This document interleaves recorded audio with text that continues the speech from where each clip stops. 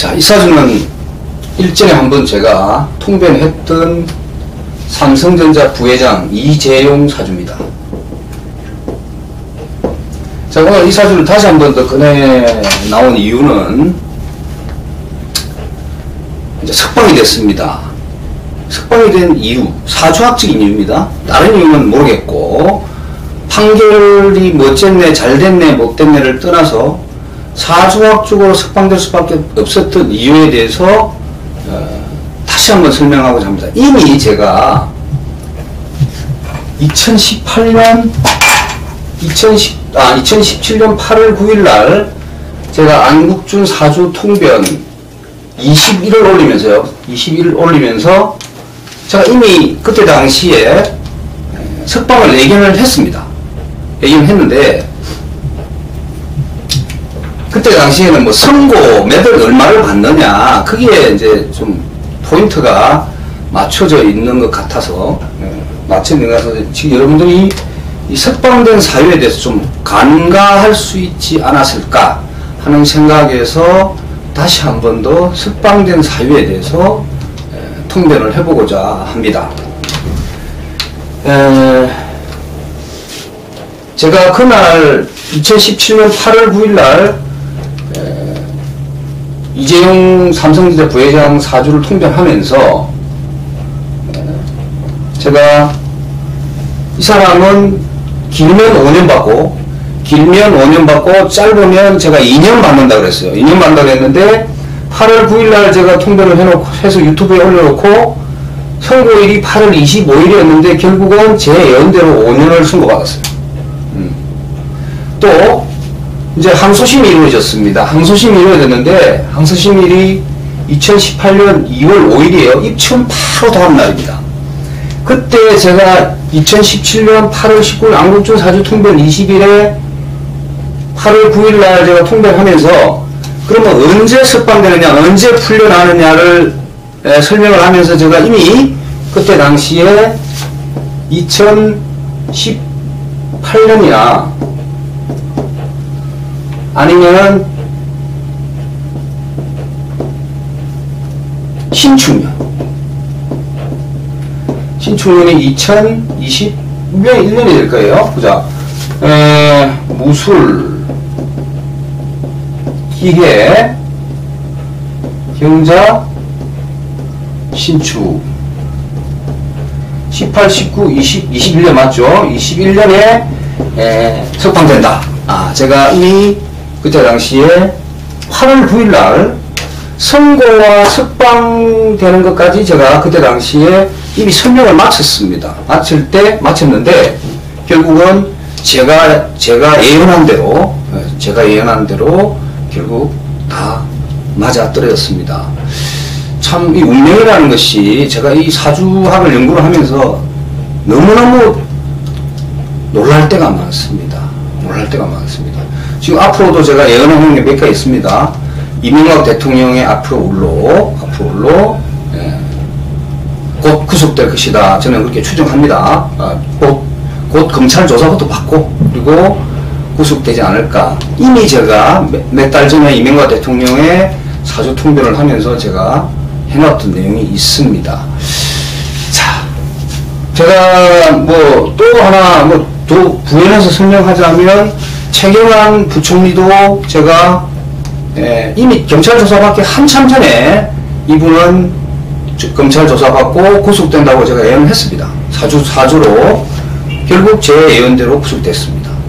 그 다음에 우병우 뭐 예전 정무수석인가요? 우병우도 구속된다. 제가 구속될 가능성이 있다. 그렇게 예언을 했는데 결국 구속돼 있습니다.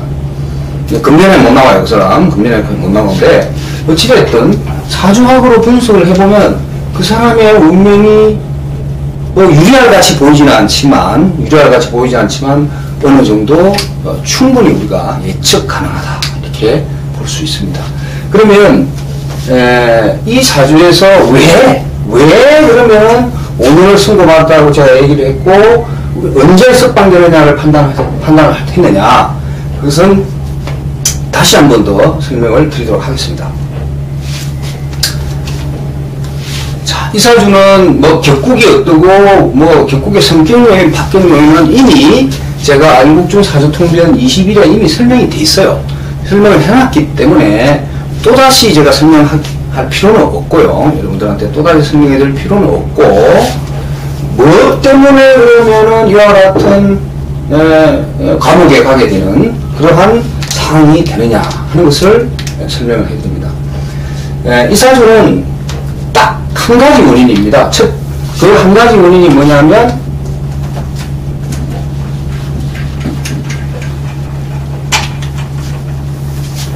망신살이다.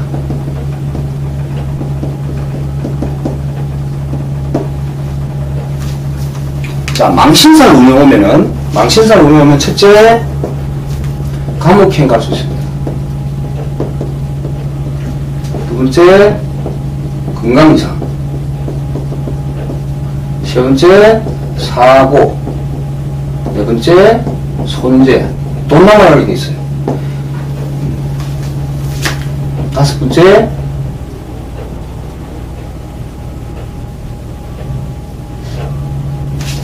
음, 다섯 번째는 뭐, 또 일반적인, 뭐, 뭐, 천재지변 같은 것도 있을 수 있습니다. 천재지변으로 인한, 으로, 인한 사고.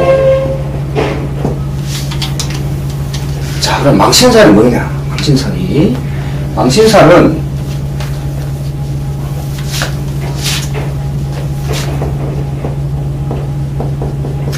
신자진생은 해수를 망신이라고 합니다. 해수를. 에, 나 신자진생은 해수가 있으면 망신이다. 이렇게 설명이 돼 있어요. 설명이 돼 있는데, 우리가 고전에 보면, 예,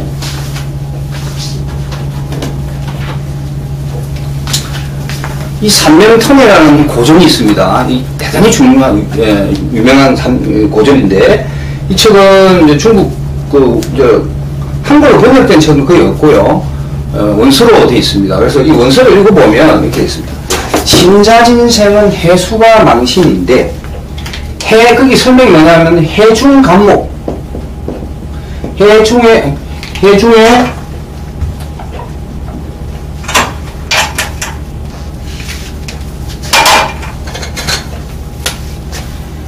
해중 감목이 망신다 돼 있어요. 그럼 이, 이 말은 뭘 의미를 하냐면 해수 중에는 감목이 있습니다. 무, 지장간에 각 이미 있는데 왜 이 고성에는 왜 이 삼명통화라는 고성에는 왜 굳이 해수가 망신이다 하면 됐을 것을 왜 굳이 해중 감목이 망신이라고 얘기했느냐 이거예요.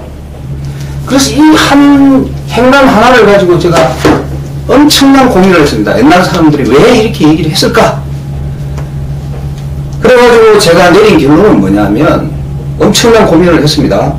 내린 결론은 뭐냐면 반드시 해수가 있고 해수가 이- 이게 망신 당연히 해수가 없으면 망신이 안 되니까 해수가 있고 감목이 있을 때 이게 망신이다 이 말이에요. 해, 해수가 아무리 있어도 천간에 감목이 떠 있지 않으면 망신사로 보지 마라. 이 얘기를 지금 이 만민영이라는 만민영이라는 이 저서, 저자가 삼명통일을 주술하면서 해놨던 얘기예요. 내용입니다. 이 내용입니다. 그래서 거기에서 제가 무릎을 쳤단 말이에요. 무릎을 쳤다. 하, 바로 이 얘기구나. 바로 이 얘기구나. 자, 그래서 또이 망신사를 쉽게 알 수 있는 방, 쉽게 우리가 아는 방법이 있어요. 신자면생은 수가 수로서 하는데, 수로서. 수로 하는데 자수가 아닌 같은, 같은 해수로, 해수가, 해수로 있는데, 해 중에 감목이 뭐예요? 수, 수, 수의 기운을 빼내오는 것이 감목이에요.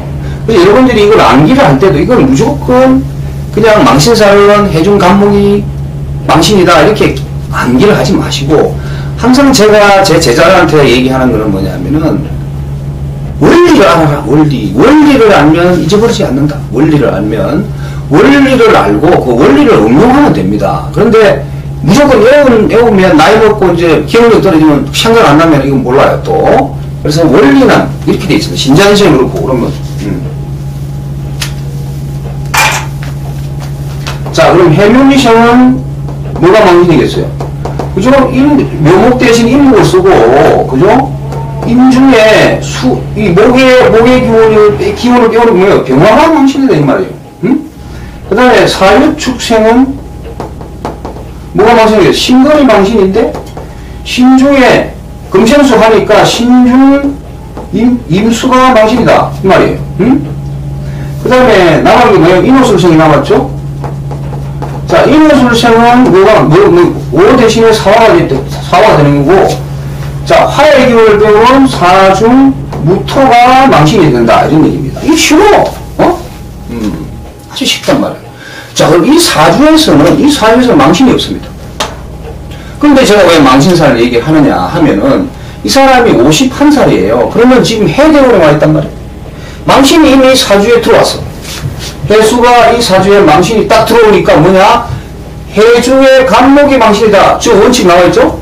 그럼 인간도, 일간도 그 안에 포함되느냐? 일간도 사주, 그 사주 구성원이기 때문에 신사를 적용할 때는, 신사를 적용할 때는 같이 봐야 됩니다. 같이 봐야 됩니다.